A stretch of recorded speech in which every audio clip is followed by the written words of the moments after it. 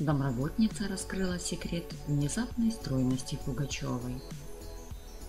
Бывшая домработница народной артистки СССР Аллы Пугачевой Людмила Дородного в эфире НТВ вспомнила, как начинались отношения певицы с юмористом и телеведущим Максимом Галкиным.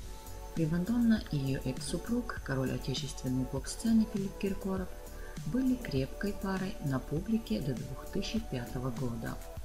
Однако Дородного была в курсе всех подробностей личной жизни Пугачевой. Ведь именно она первой увидела Галкина на пороге дома артистки. У него всегда были красивые цветы. Он без них не приезжал. Ну а чего Алле еще привозить? Для Аллы было дороже, что он сам приехал.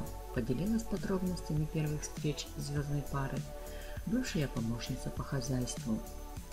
По информации телеканала, когда выяснилось, что продолжаться так дальше не может, Пугачева съехала от Киркорова в отель «Балчук» и продолжила встречаться с Галкиным. После чего Примадонна перебралась в Филипповский переулок, но певец приобрел квартиру там же, не желая отпускать певицу. По словам экс-доброботницы, в этом любовном треугольнике все зависело не от мужчин, а только от Аллы Борисовны –